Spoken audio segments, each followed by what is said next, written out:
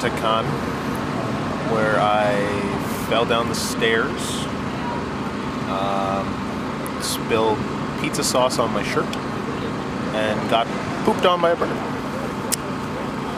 All in all, a good day. Ah, and there was all that. The shirt in question is in here somewhere. Josh picked up a new shirt. Helps with the not so much bird poop look. What did you think of the Sistine Chapel? Uh, impressive.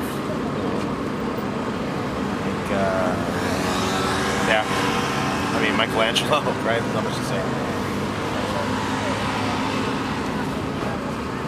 What up? St. Peter's Basilica was fairly impressive. That's about it. Josh was quite amusing today. What was your favorite part? The part where he fell down the stairs and then the bird shed on him. You're a humanitarian, sir.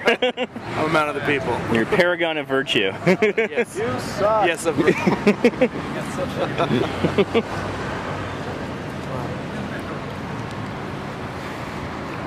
Oh, and the Roman women, they're delightful. Uh, walked, walked a bunch more. How many pictures did you take? 335 ballpark. We'll be checking your answers later. How many pieces of art did you see? I'm guessing around 335. What's your favorite thing?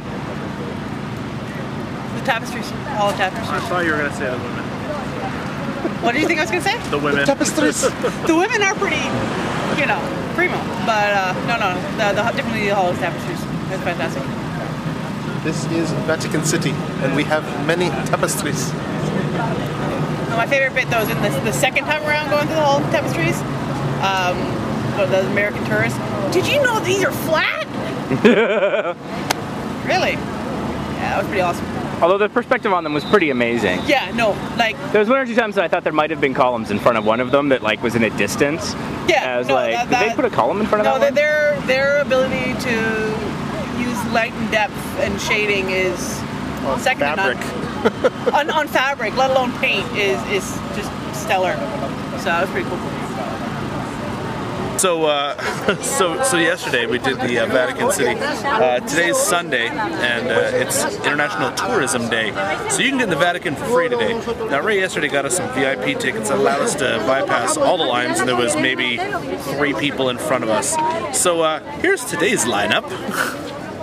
Now you see up there, it actually goes around the corner to the right for another couple blocks, and then to the around the corner to the left another couple blocks. And it comes down here, goes all the way back. The, uh, the, the think it goes where past Basilica. are, you see there is Pietro. Pietro. Yeah, so I mean, this this lineup is easily five or six hours long. Thank you, Ray.